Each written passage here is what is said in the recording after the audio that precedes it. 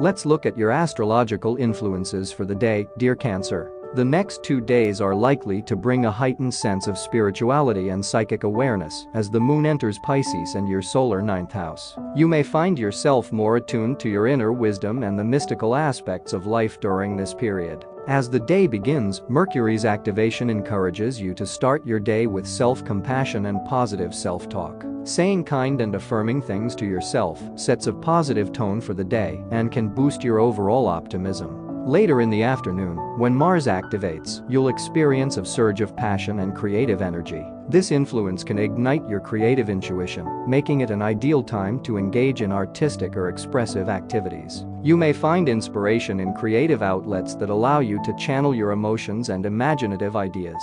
As the day comes to a close, the moon's alignment with Jupiter pushes you to expand your horizons. This may involve seeking philosophical conversations, exploring new beliefs, or connecting with a broader community. Sharing your wisdom and learning from others can be an enriching experience during this time. In summary, your day brings a heightened spiritual and psychic awareness, encouraging self-compassion and positive self-talk. The afternoon sees a surge of passion and creative energy, and the evening promotes the expansion of your horizons through philosophical conversations and community connections.